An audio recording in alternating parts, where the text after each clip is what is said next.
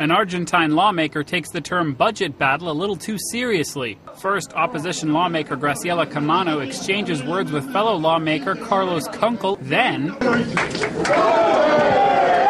Camano socks Kunkel in the mouth. She later said that Kunkel kept shouting without making a single proposal. Camano added, He's always attacking me. Under congressional rules, he can file a complaint that could lead to possible sanctions against Camano. The Argentine Congress has been especially tense recently. Opposition lawmakers say President Cristina Fernandez's government is putting tremendous pressure on them to pass the 2011 budget. Kunkel is a close Fernandez ally. Noel Wagcore, the Associated Press.